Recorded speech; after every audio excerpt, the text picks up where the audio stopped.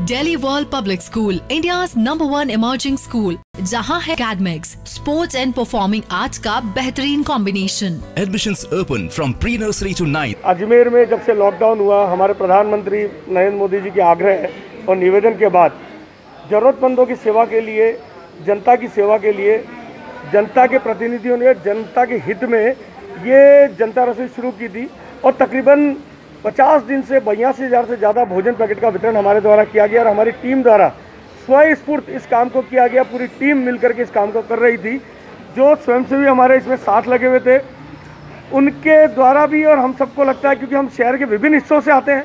यहाँ पर से भोजन पैकेट लेकर के वितरण हम शहर के विभिन्न वार्डों में, विभिन्न कॉलोनियों में करते हैं। तो हमने, क्योंकि ये कोरोना की जाँच करवाना हमने तय किया और आज हमने चिकित्सा विभाग के द्वारा कोरोना सैंपलिंग, कोरोना महामारी की सैंपलिंग की जाँच हमारे द्वारा यहाँ करवाई गई।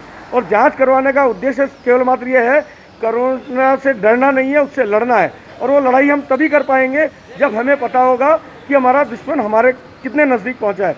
तो हम लोगों ने बड़े पॉजिटिव तरीके से कोरोना नेगेटिव साबित करने के लिए ये जाँच हमने करवाई है। और हम ये बताना चाहते हैं कि इससे डरिए मत, आइए स्वस्फूर्त आकर के अपनी जाँच करवाइए और जनहित में अपने काम को जारी रखिए।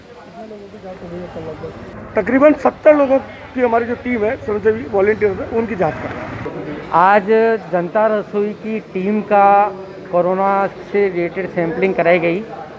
हमारा मानना है कि जनता टीम पूरे अजमेर शहर में काम करती है और जनता टीम में जितने भी हमारे कार्यकर्ता हैं, वो शहर के विभिन्न हिस्सों से आते हैं और वितरण का कार्य भी करते हैं।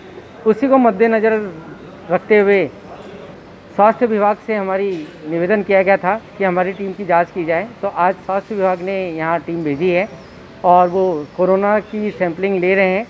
आगामी एक से दो दिन में मालूम पड़ जाएगा कि किसका क्या रिज़ल्ट आता है।